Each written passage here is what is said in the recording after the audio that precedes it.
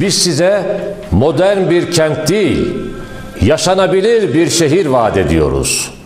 Betona boğulmuş bir kent değil, tarihe ve doğaya saygılı, insanların ait olmaktan ve yaşamaktan haz aldığı bir şehir vaat ediyoruz. Bir millet tarihiyle yaşar. Geçmiş dönemlerde yağmalanan tarihi dokumuzu Osmanlı Mahallesi projemizle yeniden inşa edeceğiz. Kursulu Camii meydanı ile bütünleşik olarak yöremize özgü taşlarla inşa edeceğimiz konak ve Türk evleriyle oluşturduğumuz Osmanlı mahallemizle ecdadın estetiğini ve ruhunu bugüne taşıyacağız.